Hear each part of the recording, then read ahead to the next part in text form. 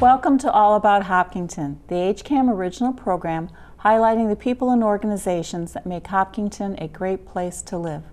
I'm Mary Arnott, your host. Today we have with us Pastor Mike Laurence of Faith Community Church here in Hopkinton. Welcome, Mike. Welcome. Thank, you very much for taking time out of a very busy schedule to be on the show today. Oh, looking forward to it. Well. Enjoy the moment. I know uh, Faith Community is a very large church, and as lead pastor, I know your schedule has got to be packed every day of the week, not just on Sundays. Yeah. So I really appreciate you taking the time.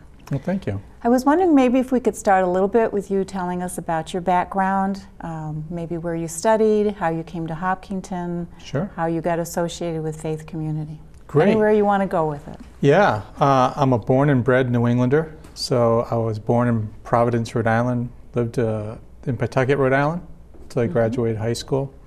Went to a small school called Barrington College in Barrington, Rhode Island. Doesn't exist anymore. They closed. Uh, They closed the day my class graduated. So we like to joke and say we clo- we shut down the shut school. down the school, Yeah, yeah. right. We graduated.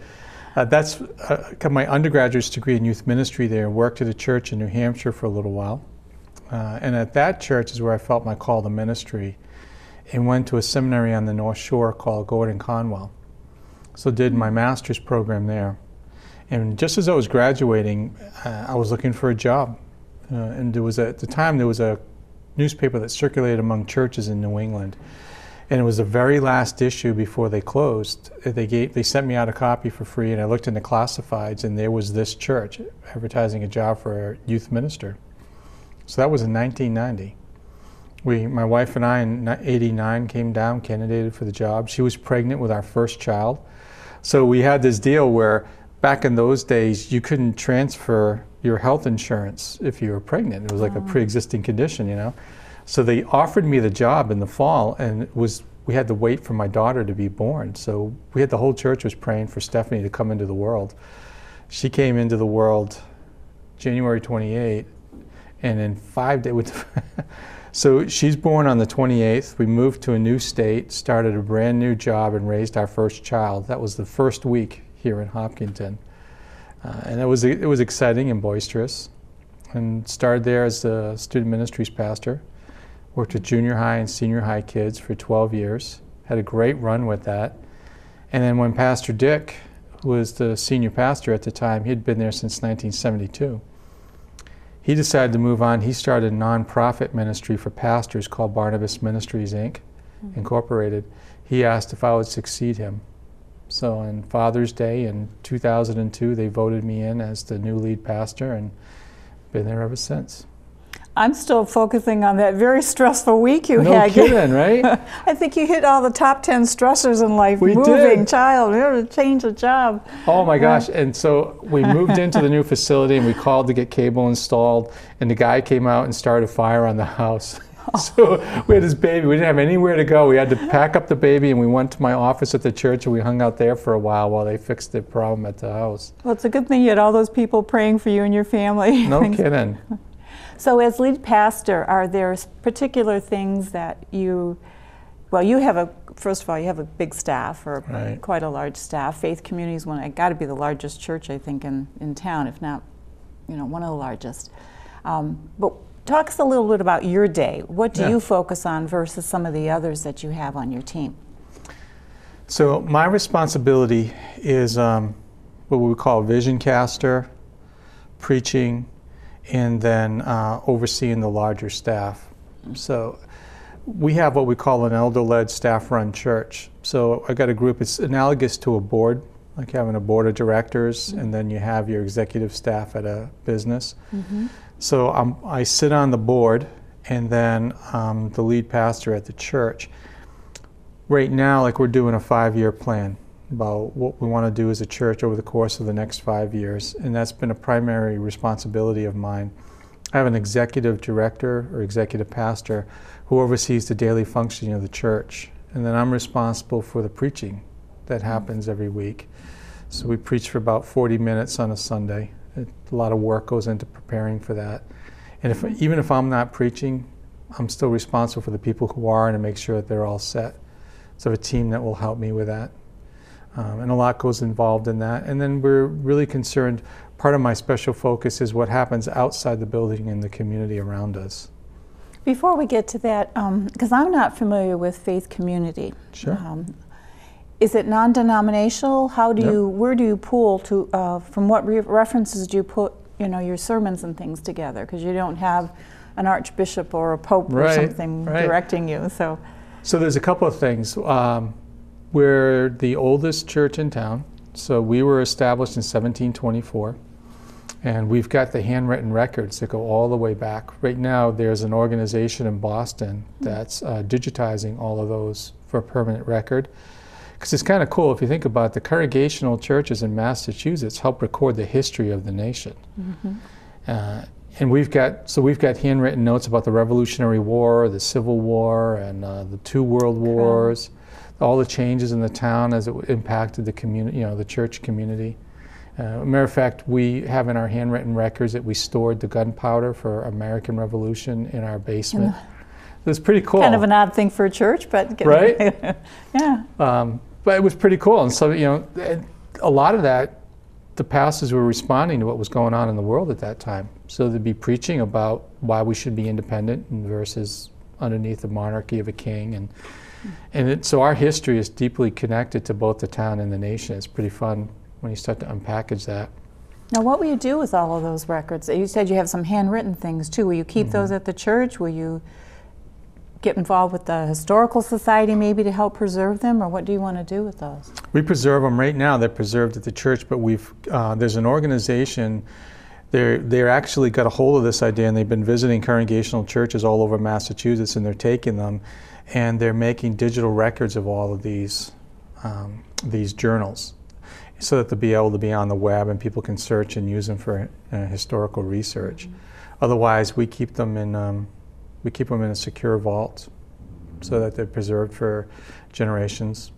We've had people who, that's part of they follow their genealogy because we've got records of the individuals as they joined or were baptized into the church. Mm-hmm. So some of that, we have records of families, you know, that are 300 years old, connected to our church. That's been a lot of fun. Mm-hmm. So you got to figure we're a church that's almost 300 years old ourselves. That's why we were active in the celebration of the anniversary of the town because mm-hmm. ours is just a few years after that. Um, but as a pastor, what we do for preaching is there's a team of people that help me think through what are we going to talk about. We have this idea that um, the preaching on a Sunday morning is biblically based, culturally relevant, and application oriented. oriented. So the idea is everything we preach comes out of the Bible, but it's connected to what's going on in your life. What we want is for you to walk into church on a Sunday morning, and if we're going to talk to you about what's in the Bible, we want you to walk out feeling like, well, that really makes a difference in the way I live my life, whether it's parenting or finances or um, current events and news. Uh, and then we talk about application oriented because we want you to be able to walk out and say, well, what do I do with this? So, because we really believe that your faith is something that you live out on a day to day basis. Church is just more of a, a gathering place to kind of help you get reoriented and then re enter the world. Get focused every week, huh? Yeah, yeah, yeah. We've been out. So, like this week, uh, I'm not preaching this week, but uh, I got a gentleman in the church who's talking what's called the five love languages. They're related to relationships. Five different ways people tend to experience love. So you can apply that to your home, to your friendships, even to your work environment, how you appreciate people. He's going to unpackage those for us, but they're very practical. Like, how do I know the best way to encourage, appreciate, affirm people so that they feel it? And all grounded in the Bible. All Yes. grounded in the Bible. No. We really enjoy it. You started, uh, well, you said your sermons and stuff that you do. I understand you also put those out on your website every Correct. week. You have quite an operation to uh, Yeah. communicate through that website that you have, which is a very good one. I, I looked at it. It's very nicely done. Thank you. Yeah. We put a, a big focus into rehabbing the whole website. Everyone who visits our church has been through the website before they even walked in the door. So um, we've got, we were fortunate enough we were able to make an acronym of our church name to be our web address, FCCH, so Faith Community Church Hopkinton.org. But everything we do is there.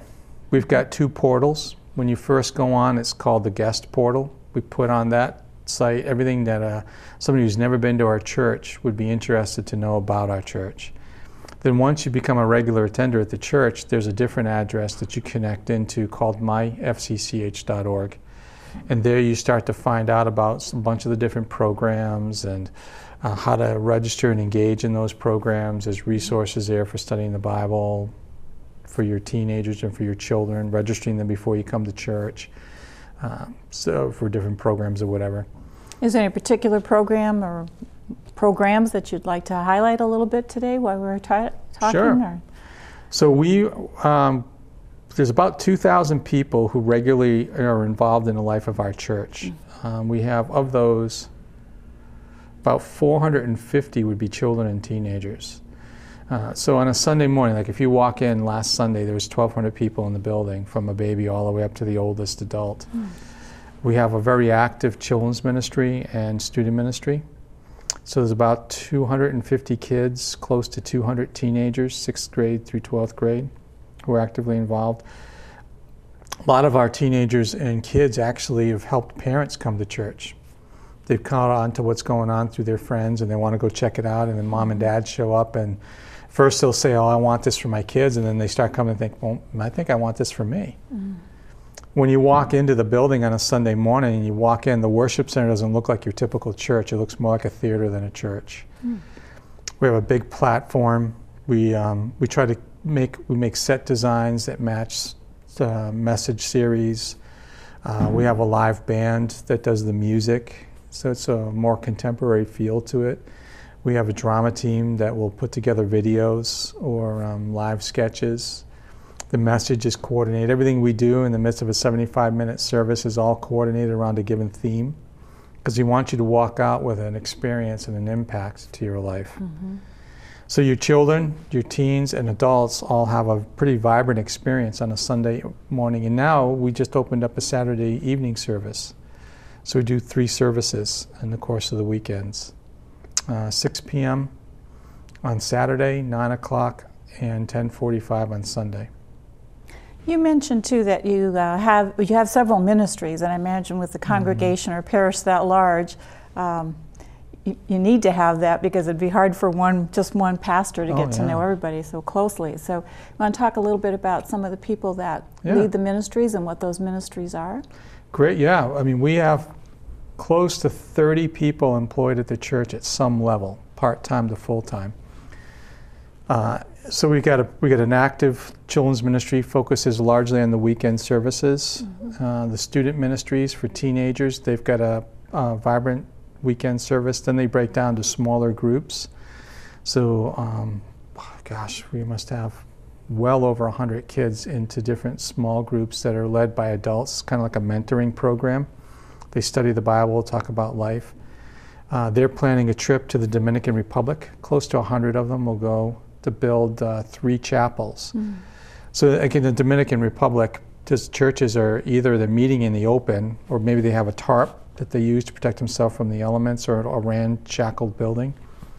They've pro- uh, they partnered with a nonprofit and they're going to go in and in five days they're going to lay a concrete foundation and then build the walls and the roof and erect it and hand the keys over to a pastor.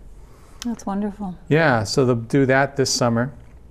That's a pretty big piece of what we do, plus weekend retreats. So it's a lot of activity for the teens and the kids.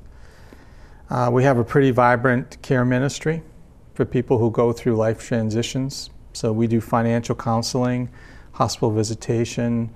We do. Um, we sometimes do short-term counseling, but we have a great network of counselors in the area that we help people connect to for whatever life's needs are. We have a what we call a compassion fund for people who are a part of our body. We've given away thousands over the course of the year. We'll give away tens of thousands of dollars for everything from your mortgage to your car to your utilities to food on the table. Uh, we work hard to take care of people. That's big. Uh, spiritual growth is a big component of what we do. So we have 550 people in what we call faith groups. They meet in, they meet at home or at the church. They're studying topics that are relevant to their life that come out of the Bible. Um, they also help people find places to serve. We have five to 600 people who serve in some capacity at the church or through the church in the community. Um, that's a pretty vibrant activity. Plus, uh, our worship ministry. We have 100 people in the worship ministry. So we have musicians, artists, technicians who all contribute, artists. We had this great experience at Christmas time in our, in our design. So our design carries out into the lobby of the church, and we had this, this uh, artistic structure that was uh, installed onto the wall. It must have been an eight, by, eight foot by eight foot wooden easel that was created and painted, and then they screwed in 70 pounds of screws. And it was connected, the theme of the series was no strings attached. And they, they created this design, you can still see it on the website, where they outlined the word strings, and then some people came in and they literally wove a decoration that created the word strings as a bas relief off of the, the wooden structure. It was awesome. I think my head is spinning from everything that's going on there. It's just, how do you keep track of all, well, you have a staff. That have a staff that does Yeah. it, right? We had a great, so one year we did something called the Heart of God, and this was fun. Um, there was a gentleman in the church, uh, he worked, he, was it automotive repair? What he did. So he, has a, he had a lot of access to just junk cars, and we told him, you know, we'd really love to have, uh, can you forge a heart for us? So he took bumpers off of cars and he cut them out, redesigned them, and he f- literally forged it into a heart. And the sculpture stood five feet high, Where did you put that? right at, at the right at the platform. It was right on the floor in front of the platform for the whole series. It was a six-week series. And we videotaped him, so we have a video team. So they videoed him as he was doing it with his uh, plasma cutter and the way he was banging and forging, and then we created a video about how he constructed it and used that on Sundays. And where is it now? It's in a it's in an alcove of the church, somewhere in the church. It's pretty crazy. Yeah, that's pretty, well, he's very talented. We have a lot of fun. You know, we just believe everybody has something to contribute, so we want to find a way to help them do something meaningful with their lives. And you, I imagine, uh, a lot of your parishioners, well, you mentioned the Dominican Republic and Mm. what you're going to do down there in terms of building the chapels. What other ways do you encourage your parish members to get involved outside of the church and in Yeah. the communities and in the world? We've had a lot of fun over the years. Um, we put a we put a lot of focus on what can we do to make the world a better place. Uh, so I was challenged once by somebody who once said, you know, um, because churches are nonprofits, they don't have to pay property tax, but you know the fire and police still come out. So would your community consider your church a benefit to the community or a tax deficit? So I really took heart, took that to heart. I said, you know, what? we want to make we want to make such a reputation that the church is glad we're in town. So we do everything from we've partnered with Project Just Because. One year, Cheryl Ann said she was collecting blankets. It was an economic downturn and uh, oil prices were high. So in the wintertime, when you're cold, what do you do? You turn the heat down, you just put another blanket on. So when I asked her, I said, we asked her, well, how many blankets do you need? You know, and I'm figuring she needs a few hundred blankets. She said, well, I need 3,500 blankets. Okay. So for six weeks, we worked hard with the church, and we, we actually either, people either created these no-sew blankets or they purchased, uh, we got 5,000 blankets that we gave her. It was amazing. That is amazing. That's a- Um, what a response. It was awesome, like food Yeah. pantries. One, one, uh, one message series we're doing, uh, we're talking about Jesus Christ and the miracles. And I said, you know, Jesus fed the 4,000. I think we can raise 4,000 pounds of food and give them the food pantries. It was a seven week program. So each week we target a different um, food pantry. And we ended up giving away 1,000 pounds a week. So by the time we were done, we collected 7,000 pounds of food. It was awesome. I mean, we just love doing this stuff. Um, we've partnered with SMOC, um, it's this Southern, Middle, Southern Middlesex Opportunity Council. Mhm. So we went over to Serenity House. Serenity House here in town, yeah. Yep, we, we rehabbed Serenity House. We had so much fun with that. They asked us if we would do three centers this year. So we did one in Framingham and two in Ashland. There are transition homes, either for people coming out of addiction or for homeless Mm-hmm. families. So we worked on those centers. We did the same thing. Now, is We- that painting, cleaning up, fixing, repairing kinds of things, just whatever they needed at the time? whatever they needed. So some of it was ripping out trim and replacing trim outside, uh, painting, sanding, um, building furniture, uh, one of the places in the basement, they didn't have locker storage for the families. So they came, you, know, you come, you're homeless, everything's in your car, mm. but you can't put it into a room with you. So we built lockers for the families. We had somebody who designed it, and then the junior high ministry cut the wood, came in, and installed it in the basement. So we did things like that. So you're really tapping into all the talent that's within your parish, people and their different skills and their different ways that they want to help, not only yeah. within the church but outside of the church. Right. They right. come come forward and say, "Oh, I can do that," or "I can do that." Or, yeah. I know there's a passage in the Bible that talks about different professions in life and people having different talents, but I can't quote it. You probably know it, but that's what it reminds me of. Each person having their own gift and talent to bring it not only to their church and their local community, but maybe beyond yeah. that. We call it your shape. So it's an acronym. We feel that God's given you some spiritual gifts. He's given you a heart's passion. He's given you abilities and skills. He's given you a personality, and He's given you experiences of life. It's like when you come to our church, if you decide to get involved, what we do is we, we administer a couple of inventories that you kind of do, and then you sit down with your own personal shape guide. And the person sits down with you and they go over your shape and then they say, okay, well, how could you utilize your shape here in the church? That's a very good way to remember it too. It's very easy. Yeah, shape, it's, a, you know, it's an acronym. We've been we got a partnership with Saddleback Church out on the West Coast, and so we use some oh. of their curriculum material. That's the Rick Warren, Reverend yeah. Rick Warren, and Purpose-Driven Life. Yeah, we've yeah. used we've done campaigns based on his material. Yeah. I've read his book, yeah. Yeah, it's been pretty meaningful impact. Yeah. Rick's a nice guy. We've had the opportunity to meet him a couple of times and do some work out there. And in your spiritual, you said you have an area that spoke, focuses on the spiritual growth. It sounds like then that you do use materials from uh, other places and mm-hmm. uh, maybe other pastors. You know, you yeah. mentioned Rick Warren, not just the Bible, but that you can grow spiritually through maybe reading other things and sharing experiences with people. So we do right now. We've got something called the Daniel Plan. That's a, it's a nutrition and health so there's a group that gets together. They've done, um, they've run this program a few times, but it's a way of coming together. They study the Bible about good, healthy life practices, but they're also talking about nutrition, shopping, where you get your food from, how do you create your meals, exercise, sleep. So we get that. We have um, we have what's called the Financial Peace Program, which helps people kind of examine good um, spending habits. So we have financial coaches that meet with people. If you're going through a difficult time, they sit down, they help you create your budget. If you're in debt, they talk about ways of working out of debt, and they help you do that. Uh, we try to really approach a whole the family from the whole perspective. Mm-hmm. We offer a lot of programs that you can do as a family. So a few years ago, when the tornado had gone through out in western Massachusetts, we uh, went out there and we partnered with a church out there and so for six weeks, we sent hundreds of people out there and they cleared brush, cut down trees. And we found ways that whole families could go, so kids mm-hmm. could help pick up sticks and branches and brambles on one end of it. Spectrum on the other end, we had guys with chainsaws cutting down trees and big chippers clearing out property and helping to mm-hmm. clean houses. Tried to do a lot.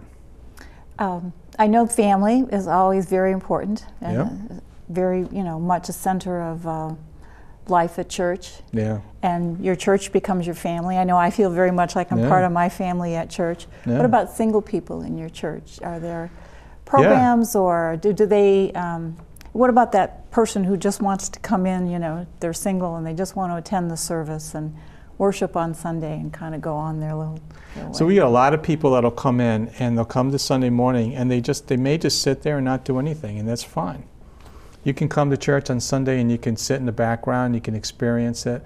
Our hope is, is that it, there'll be a point where you'll feel compelled to enter into a journey with us to start to connect in community. Mm-hmm. But we've got great, we've got a lot of singles in our church as well as families. You know, so we have singles, we have families, we have empty nesters, we have widows and widowers, um, we've got young adults. We've kind of got uh, a pretty diverse population of people very much reflective of the community, I imagine. Right. And yeah. Yeah. Yeah. Well, I, we're going to get close to the end of the show here pretty quickly, and I just want to give you some opportunity. Is there anything that you want to kind of wrap up, or a message that to the audience that you'd like to give on behalf of your yeah. sermons or your faith community church? And so we pick three words that describe our church: authentic, vibrant, and growing.